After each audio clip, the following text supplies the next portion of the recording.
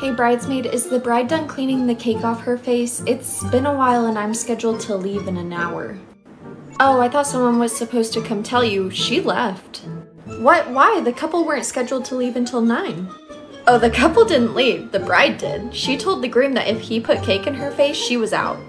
So, does everyone here know that? Or are we just gonna proceed like normal? And uh, what are we doing?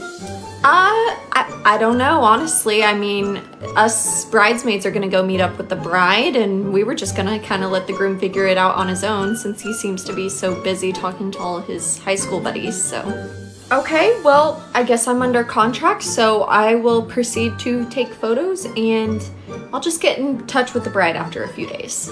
Honestly, the bride probably wouldn't care if you left, but the groom's mom paid for you, so yeah, I would just kind of stay and chill.